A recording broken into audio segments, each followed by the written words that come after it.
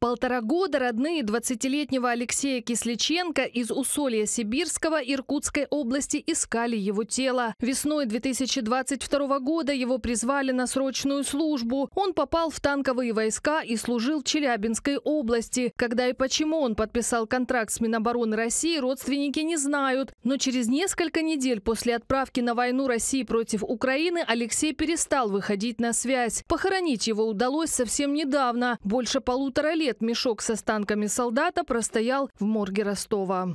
В конце декабря 2023 года Минобороны привезло в Иркутскую область то, что осталось от Алексея. Благодаря волонтерам, говорят родные Кисличенко. После этого семье пришлось судиться, чтобы останки признали прахом Алексея. Из публикации издания «Сибирь. Реалии».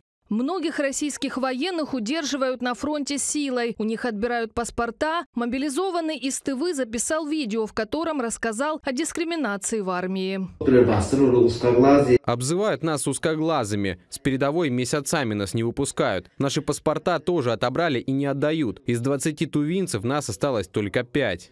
И надежды на возвращение домой у российских военнослужащих нет. Ротации не будет ни сейчас, ни в будущем, заявил председатель Комитета по обороне Госдумы Андрей Картополов, потому что это, по его мнению, нецелесообразно. Они уже год воюют. Они стали профессионалами своего дела. И вы предлагаете вместо профессионалов своего дела набрать других, а потом еще долгое время их готовить? Андрей Картополов, председатель Комитета по обороне Госдумы России в интервью изданию «Фонтанка». По логике Картополова, на войну против Украины отправили военнообязанных. Вот они и обязаны оставаться там до смерти. Жена одного из российских мобилизованных предложила Картополову самому отправиться в окопы. Так как Картопалов считает, что у нас все отлично в армии, и мобилизованные вообще не должны как бы рыпаться, у них все отлично, их семьи настолько защищены, я предлагаю ему отправиться в зону СВО и получить тот же колоссальный просто пакет социальных услуг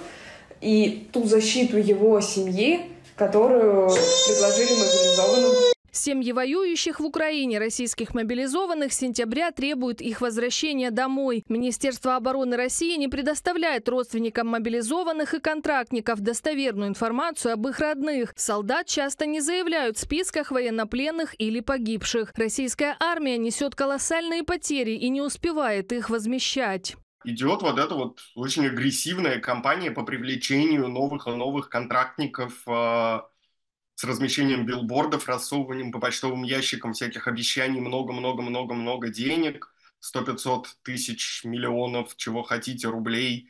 Только вот приходите, пожалуйста, в военкомат это, и подписывайте контракт.